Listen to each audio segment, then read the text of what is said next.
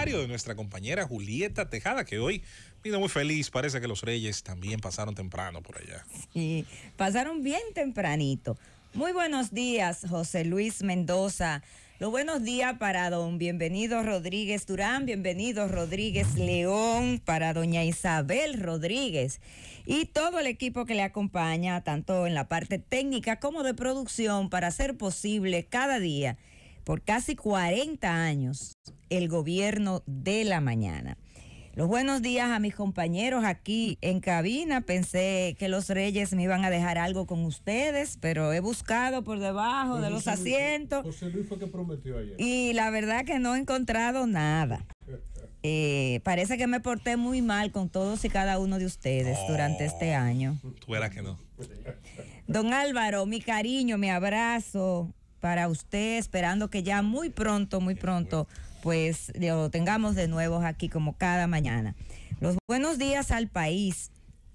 Miren, señores, el director de presupuesto, el señor José Rijo Presbot, ha dicho que él encontró eh, en las nóminas de los programas o de las instituciones que manejaban el programa, los programas sociales durante la gestión de la ex vicepresidenta de la República, Margarita Cedeño, encontró irregularidades, que tuvo que transparentar esas nóminas y habla también de nóminas paralelas. Sería, por supuesto, que la ex vicepresidenta de la República, la doctora Margarita Cedeño, pues inmediatamente le respondió y eh, nosotros esperamos que el director de presupuesto explique claramente y con lujos de detalles en qué consisten esas irregularidades que a su juicio encontró en las nóminas tanto de la de Prosoli que así se llamaba el programa Progresando con Solidaridad, que era el programa que tenía que ver con toda la intervención socioeconómica que se hace a las familias que son beneficiadas del programa o de la tarjeta en aquel momento Solidaridad. ADES, que es la administradora de subsidios sociales, es decir, la institución que está llamada a colocar los fondos, las transferencias, hacer los acuerdos con las entidades bancarias para emitir las tarjetas electrónicas con las cuales las personas pues pueden ir y transar en los eh, diferentes negocios y colmados del país. Y el SIUBEN, que es el Sistema Único de Beneficiario, que es quien maneja la gran base de datos, identifica a dónde están ubicados los pobres en sus diferentes categorías que hay en el país y cuáles de esos pobres pues son los que eh, califican para entrar al programa, a los programas sociales del gobierno. Esa es la estructura que maneja el Gabinete de Políticas Sociales o que manejó en esa estructura la doctora Margarita Cedeño de Fernández, porque la verdad es que últimamente uno no sabe como a ciencia cierta cómo es que se están manejando esos temas. Ahora bien, lo que sí estamos convencidos y seguros es que esos programas, como se manejaban durante la gestión de no solamente de la de la doctora Margarita Cedeño de Fernández, sino también el doctor Rafael Alburquerque, que pues también dirigió un tiempo esos programas, se manejaban, eran supervisados y auditados anualmente por diferentes organismos internacionales. Esos, esos programas sociales eran auditados, supervisados por el PNUD, por el BID y por el Banco Mundial. Y esos organismos lo supervisaban porque los préstamos y la erogación de fondos eh, que soportaban esos programas eh, salían de, esas, de esos organismos internacionales.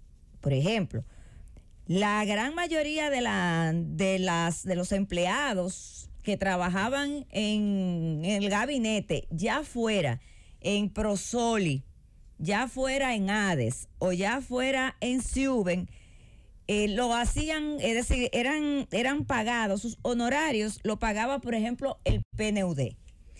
Y cada empleado de esos tenían que firmar un contrato con el PNUD. Y entonces el PNUD es quien, quien erogaba esos fondos o esos pagos mensuales. Entonces, cabría preguntarse si el PNUD era cómplice o había participado, para no utilizar la palabra cómplice, digamos que eh, participaba junto a la administración del Gabinete de Políticas Sociales con eh, pues esas nóminas irregulares. Era parte de esas irregularidades. Por eso es que yo digo que el director de presupuesto tiene que ser más claro, tiene que dar detalles, porque no necesariamente el concepto de irregularidad desde su punto de vista, implica actos dolosos, implica corrupción. Pero si tú lo dices así como él lo dijo y no da más detalles, entonces la gente pudiera pensar que sí hubo actos dolosos, que sí se manejaron esas nóminas con dolo y con corrupción, sobre todo, sobre todo en estos momentos donde, ¿verdad? Todo parece, todo, todo, todo, todo lo que huele al gobierno pasado parecería que está manchado, que está sucio y que no sirvió, que se hizo todo de manera fraudulenta, eh, fraudulenta, perdón, y con un interés de, de sustraer del erario público los recursos. Entonces, también debería el director de presupuesto aclarar o informar ¿Qué fue lo que le respondió el programa de las Naciones Unidas para el Desarrollo, PNUD, cuando él se apersonó o se puso en contacto con este con la dirección de este programa en el país eh, a la luz de lo que él entendía que eran unas nóminas irregulares porque de acuerdo a lo que le respondió la doctora Margarita Cedeño de Fernández perdón, la, perdón, me, ya no de Fernández, ¿verdad? Ex de Fernández.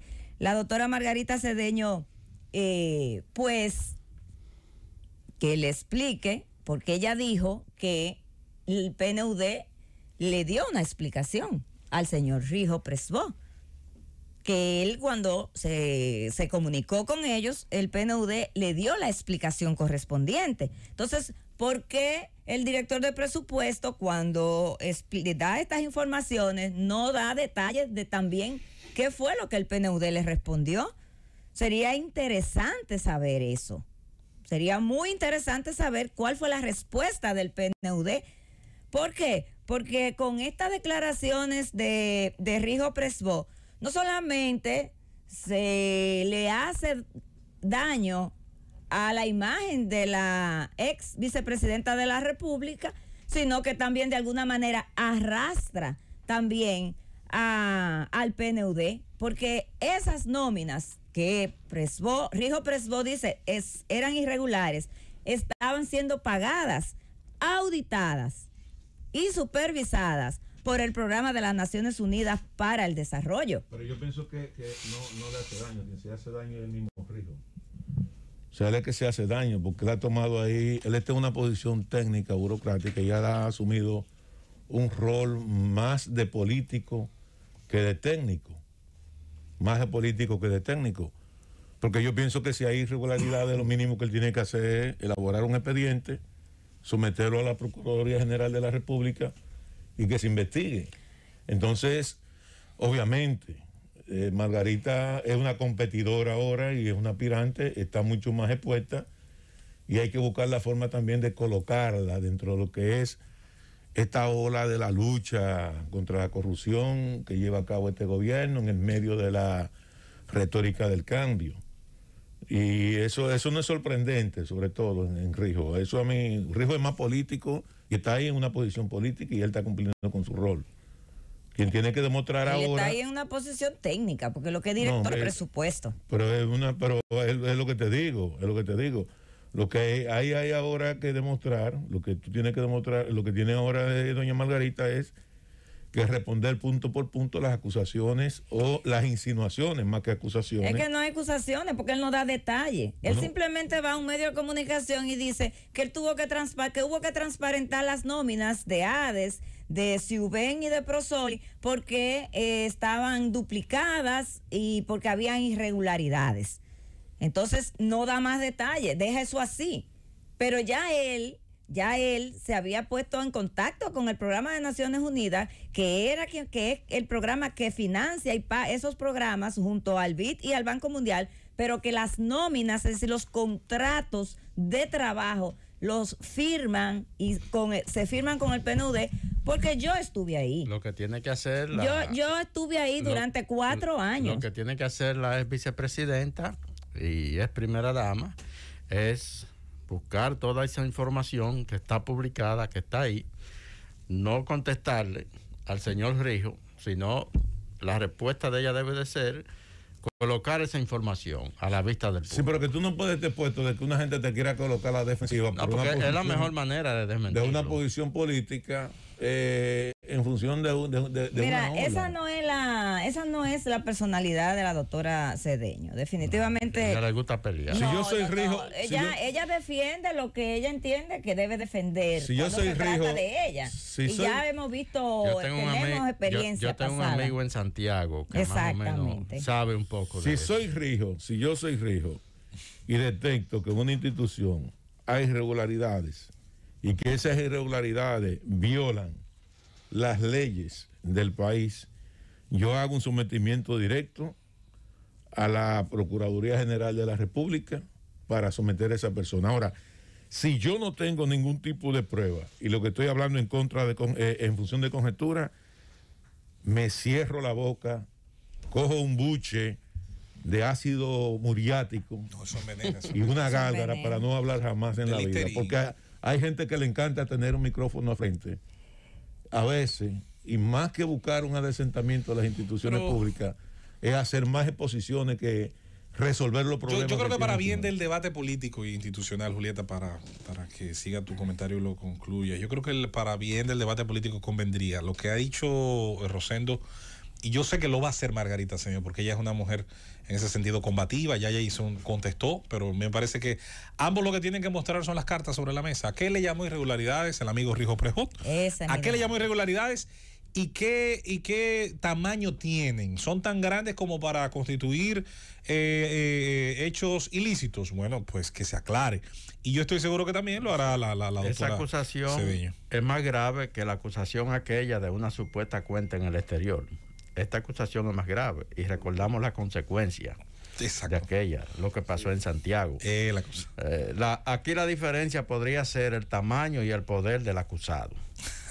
Bueno, eh, yo. Y a ver si la Procuraduría General de la República ese caso eh, favorecería a doña Margarita, que lo dudo mucho. Habría que ver. Yo pienso. está que- Jenny. Yo pienso ya para concluir que eh, Rijo Presbo tiene que dar detalles en qué consistieron esas irregularidades. Si esas irregularidades fueron eh, tan grandes que eh, impliquen, eh, digamos que delitos o responsabilidades penales, llevarlo a la Procuraduría General de la República, como bien señala Felipe, tiene que también responder, decir, explicar qué le dijo el PNUD, cuál fue la respuesta que dio el PNUD a él cuando le preguntó sobre las nóminas, le cuestionó sobre las nóminas, porque esto hay que aclararlo y tiene que quedar claro. Por muchísimas razones, porque no solamente se trata de, de dejar eso así y echarle lodo a una gestión que hasta este momento fue una gestión eh, que no tuvo cuestionamientos, ni de los beneficiarios del programa, que eran más de 800 mil familias dominicanas, ni de los organismos internacionales que financiaban y supervisaban esos programas. Llévatelo, Cundo.